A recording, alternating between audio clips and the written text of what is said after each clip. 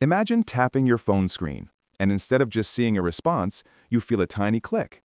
Or you're gaming, and your controller suddenly thumps as if your character just took a real hit. That little kick, tap, or pulse is not magic. It's haptic feedback, a hidden world of micro-machines working in perfect sync with your digital actions. Inside your phone, controller, or VR gear lives a tiny mechanical performer, sometimes an ERM motor with a tiny off-center weight that spins like a miniature washing machine, sometimes an LRA motor, a magnetic mass bouncing in rhythm like a microscopic speaker. And in advanced devices, advanced voice coil actuators and adaptive triggers that behave almost like muscles. Here's the cool part. The moment your device detects something that should feel physical, like pressing a digital button, firing a weapon, hitting a wall in a game, or even typing, it instantly sends an electrical command to the haptic motor.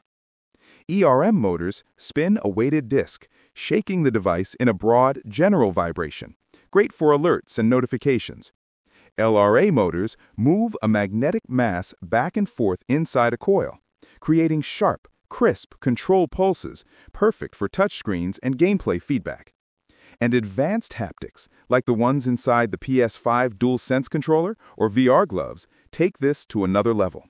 Voice coil actuators and tension-adjustable triggers change force, frequency, and resistance on the fly.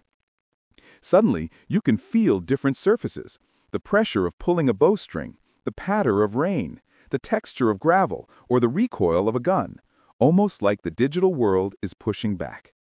By rapidly adjusting vibration patterns, intensities, and timing, haptic systems fool the brain into sensing real touch, pressure, and motion. These tiny motors essentially write a story on your skin, turning simple electronic signals into immersive physical sensations that your brain interprets as real. In short, digital commands become tiny movements. Tiny movements become sensations. Sensations become immersion. That's the science and the magic of haptic feedback.